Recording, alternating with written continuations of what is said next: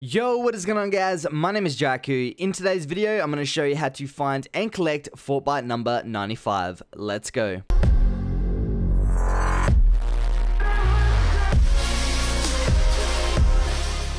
Alright, so the description that we get with Fortbyte 95 is found at a solar panel array in the jungle. So all I want you guys to do is load up into a game. Once we are in a game, bring up your map and locate the very top of the map. Right hand side of the lagoon that is dried up, you'll notice that there is a little building that I mark on screen right now. This is the solar panel array. Once you've marked it, jump out of the battle bus and make our way there. As we approach the building, you will notice that the Fortbyte is located at the very bottom of it. Land, collect the Fortbyte, and there you go, challenge complete complete. If this video helped you out, make sure to like, comment, and subscribe, and I'll see you guys later.